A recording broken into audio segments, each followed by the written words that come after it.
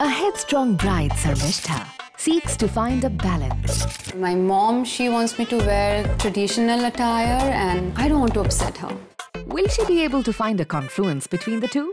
But I want to go beyond red and I really hope to find a middle ground. Watch Sharmistha's colorful journey to becoming the bona fide bride. Starts from 11th November in partnership with Oppo, MDH Degi Mirch and Philips Hair Straighteners. Style with care. Only on TLC and TLC HD.